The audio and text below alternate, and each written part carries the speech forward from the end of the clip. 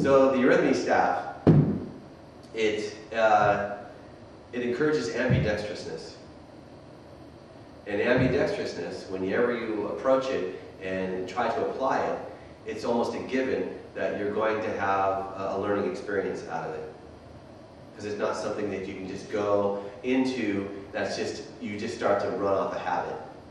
And then your habit body is there. And I, you know, and I can do this a lot better with my right hand than my left hand. Because part of the reason is why I can do it better is because I'm more coordinated there, right? I've had a lot more experience using this arm. And I can also sort of tune it out and it's on its own. Well, I need to have that same quality on my other side, where I can just twirl this, and then I can do something else over here. For example, um, an exercise I like to do is um, for ambidextrousness. Let's just go right there. So I, I get a rotation going with this particular one on my left hand, and I have a counterclockwise rotation. Okay? So then I, I um, find my, my bubble, my rootedness in that. So I'm just right now, I'm just finding my, my movement center out of it.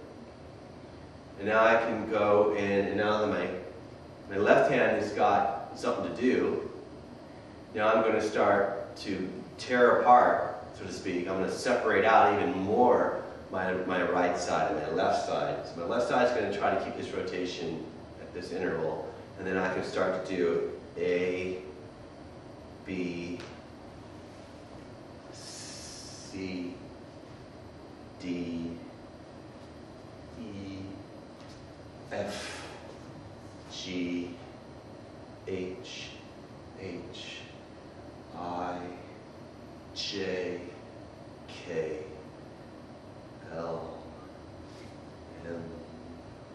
N,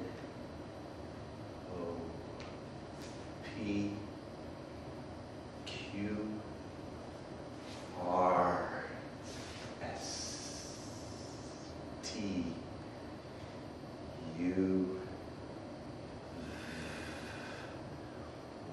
W, X, Y, and Z.